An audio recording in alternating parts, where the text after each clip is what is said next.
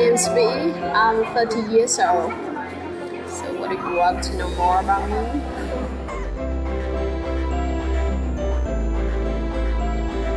I think it's very interesting. There is some some tips, and I can I think that is that is very useful for me because um, that is very easy. That is very simple. But if if you know that, so your your video is more professional.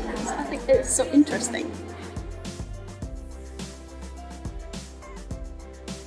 use that for raise awareness or um, to advertising. So that is a good way, and that is what I'm doing. So I think I will apply this knowledge to my job. Thank you. Okay, bye.